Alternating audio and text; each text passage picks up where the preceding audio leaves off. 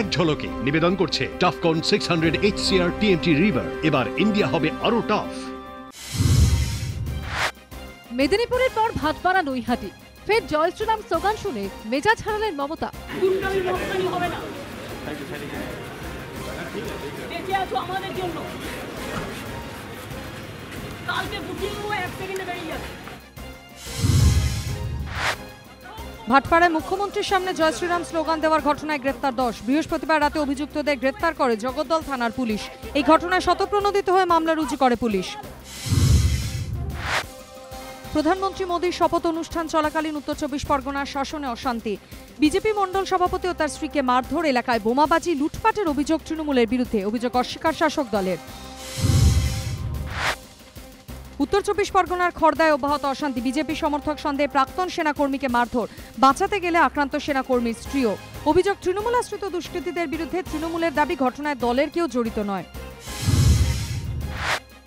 কেতুগ্রামের পাণ্ডুগ্রামে BJP কর্মী খুনে অভিযুক্তদের গ্রেপ্তারের দাবিতে কেতুগ্রাম থানার সামনে মৃতদেহ নিয়ে বিক্ষোভ।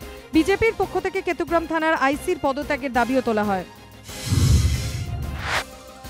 হাওড়ার পিলখানায় বেআইনি অস্ত্র কারখানার হদিশ উদ্ধার, প্রচুর পরিমাণ অসম্পূর্ণ আগ্নেয়াস্ত্র। গতকাল স্ট্র্যান্ড রোড থেকে তিনজনকে গ্রেফতার করে এসটিএফ। তাদের কাছ থেকে উদ্ধার হয় অসম্পূর্ণ আগ্নেয়াস্ত্র। ধৃতদের জিজ্ঞাসা করে অস্ত্র কারখানার হদিশ পায় পুলিশ।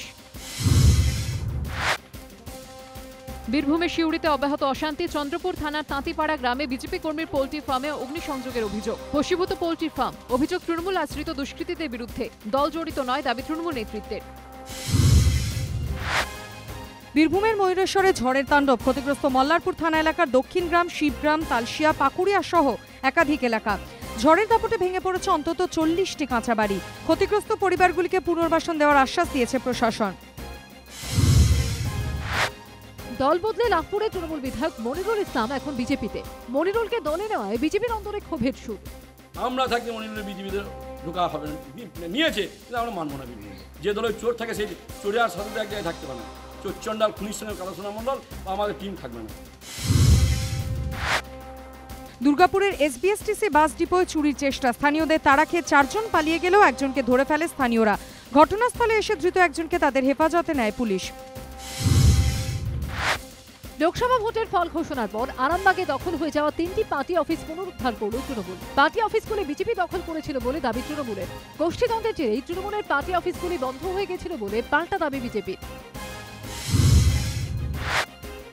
সালারে পাঁচ কংগ্রেস কর্মীর গ্রেফতারি নিয়ে তুঙ্গে চর্চা দলীয় কর্মীদের ফাঁসানোর অভিযোগ অধীর চৌধুরীর। থানা ঘেরাওয়ের হুমকি। অনুমতি ছাড়া বিজয় মিছিল করায় গ্রেফতার, পাল্টা তৃণমূল।